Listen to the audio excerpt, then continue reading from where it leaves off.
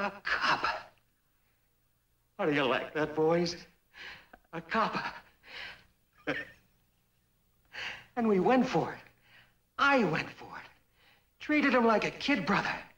And I was going to split 50-50 with a copper. Maybe they're waiting to pin a medal on it. Come on, get up. Get your hands up. Yeah, that's it.